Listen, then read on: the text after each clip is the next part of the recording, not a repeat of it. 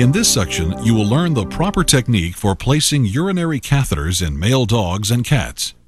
Urinary catheterization is a useful procedure to perform when urethral patency needs to be maintained, when measuring urine output is important for patient treatment, and when a non-ambulating animal is difficult to keep from urinating on itself.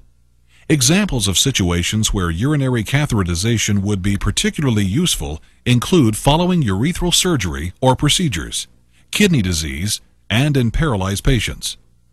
Placement of the urethral catheter is also used to collect urine directly from the bladder for analysis or culture, or during contrast studies of the lower urinary tract. The following procedure will outline the steps necessary to properly place a urinary catheter. The following equipment should be prepared prior to beginning.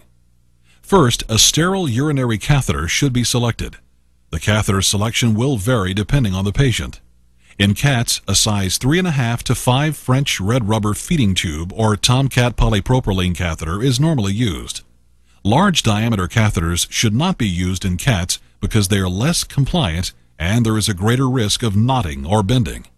You will also want to avoid placing stiff catheters, such as the polypropylene catheter, for long periods of time.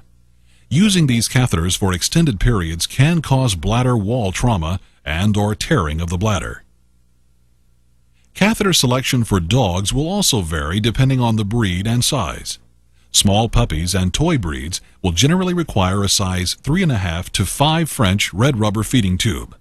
Small breeds will generally use a size 5 to 8 French red rubber feeding tube, and medium breeds an 8 to 12 French red rubber feeding tube. Large breed dogs will need a size 10 to 12 French red rubber feeding tube, if you are at all uncertain as to the proper catheter size and selection, you should consult with the attending veterinarian.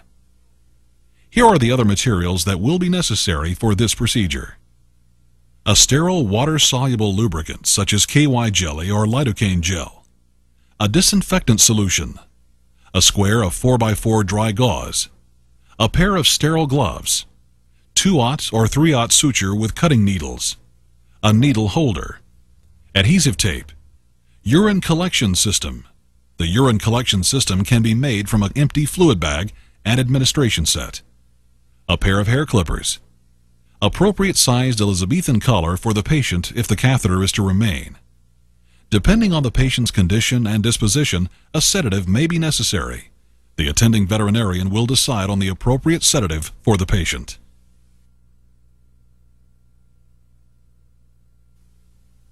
The relaxed or sedated patient should be placed on a treatment table or wet sink in a lateral recumbent position, as shown here. The hair around the prepuceal opening will need to be carefully shaved. This provides for a cleaner environment for the catheter. You will want to wear gloves while disinfecting the prepuce and penis area with chlorhexidine scrub or another appropriate disinfecting agent. The assistant can then retract the prepuce, exposing the patient's penis, as shown here. The technician administering the catheter should wash his or her hands and then put on a pair of sterile gloves. Remember that the inside lining of the package containing the gloves is sterile. Maintaining its sterility will provide you with a sterile work surface. With sterile gloves, remove the urinary catheter from its package, being careful not to touch the outside of this package.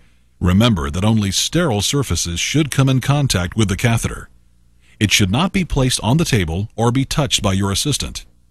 Estimate the length from the patient's prepuce to pelvic inlet and have your assistant mark the catheter at the estimated distance using a Sharpie or piece of tape. If the catheter is not inserted far enough, it will not produce adequate drainage of the bladder. If it is placed too far, it is likely to kink or create damage to the bladder wall. This radiograph illustrates a proper urinary catheter placement in a dog. After you have determined the measured length from the prepuce to the pelvic inlet, you should carefully lubricate the first few inches of the catheter with sterile KY or lidocaine gel. You may use the package from the gloves as a sterile surface to work on. Gently insert the urinary catheter into the urethral opening until the predetermined length has been reached. You should notice urine flow when the desired length has been achieved. If urine flow is not observed, then flush 5 to 12 milliliters sterile saline into the catheter and observe for urine flow. If urine flow has still not occurred, then advance the catheter 1 to 2 centimeters and repeat the sterile saline flush. Once urine flow has been established, the catheter should be advanced an additional 1 to 2 centimeters into the bladder. Hold the catheter firmly in place so that it does not lose its position. Adhesive tape should now be applied in a butterfly fashion to the catheter at the prepuce entry site as demonstrated here. Secure the tape to the prepuce with two simple interrupted sutures. After the catheter is secured in place, the end should be attached to the urine collection system and observe for continuous flow of urine. This will require that the collection bag be kept at a level lower than the patient to allow urine to flow with the gravity and to prevent backflow of urine into the bladder. Be careful to ensure that all connections are tightly